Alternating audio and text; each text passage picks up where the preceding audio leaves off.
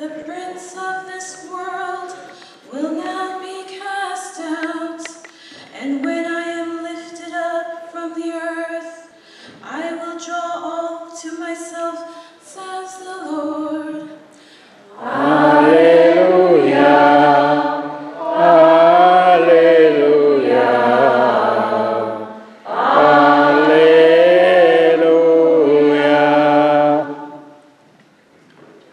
The Lord be with you. And with your spirit. Reading from the Holy Gospel according to St. Luke. Glory to you, Lord.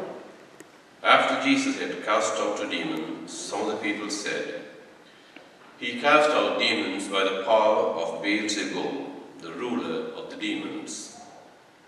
Others, to test him, kept demanding from him a sign from heaven. But he knew what they were thinking and said to them, Every kingdom divided against itself becomes a desert, and house falls on house. If Satan also is divided against himself, how will his kingdom stand? For you say that I cast out demons by Beelzebul. Now, if I cast out the demons by Beelzebul, by whom do your exorcists cast them out?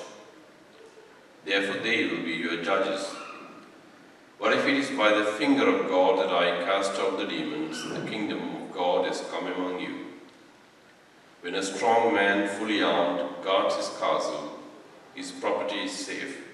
But when one stronger than he attacks him and overpowers him, he takes away his armor, in which he trusted, and divides his plunder. Whoever is not with me is against me, and whoever does not gather with me scatters. When the unclean spirit has gone out of a person, it wanders through the waterless regions, looking for a resting place, but not finding any, it says, I'll return to my house from which I came. When it comes, it finds it swept and put in order. Then it goes and brings seven other spirits more evil than itself, and they enter and live there. And the last state of that person is worse than the first.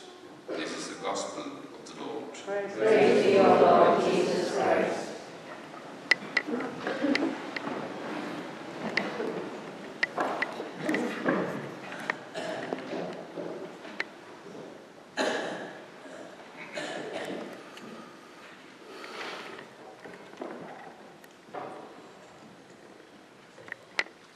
my dear brothers and sisters in Christ Jesus.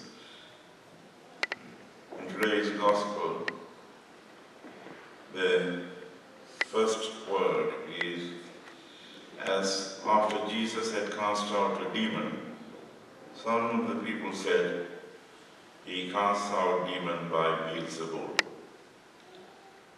Instead of being happy, joyful, that he has cast out a demon. People, you find people envying or jealous or complaining that he has done some good. Jesus' life had been one of doing good to others. Wherever he went, he healed the sick, cured and preached the kingdom of God. In short, his life was he went about doing good.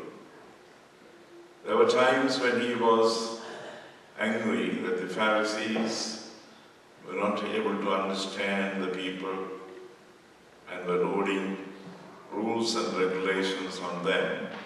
That's the time you find him harsh, but he did not hate them.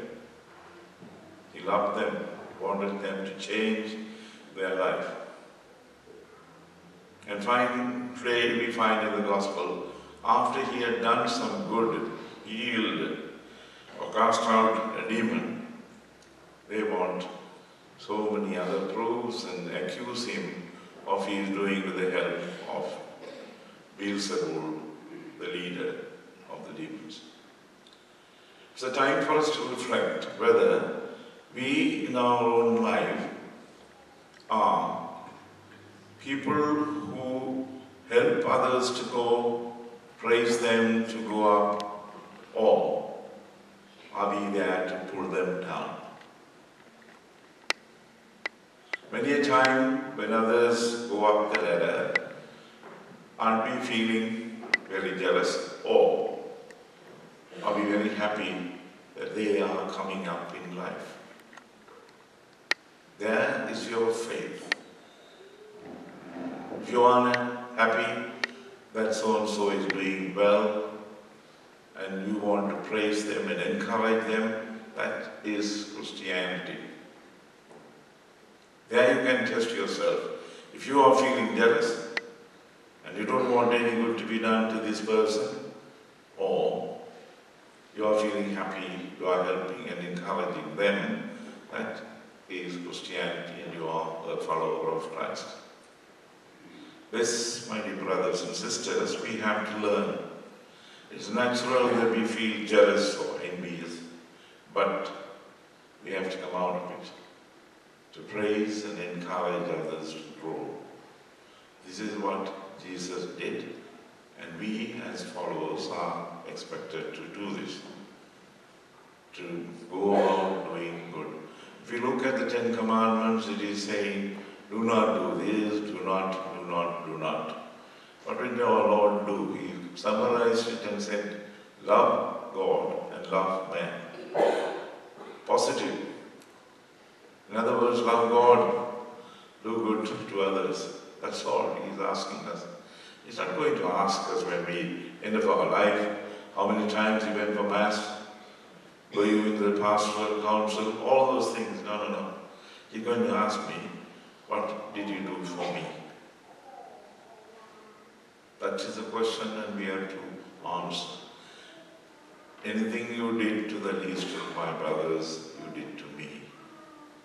That is the yardstick with which he is going to measure our life. Not the amount of these things, our rosaries, our daily mass, all these things should help us to rise to the level of doing good, recognizing others and encouraging them. If it doesn't, then this is useless because finally that is what he is going to ask us. What did you do for me?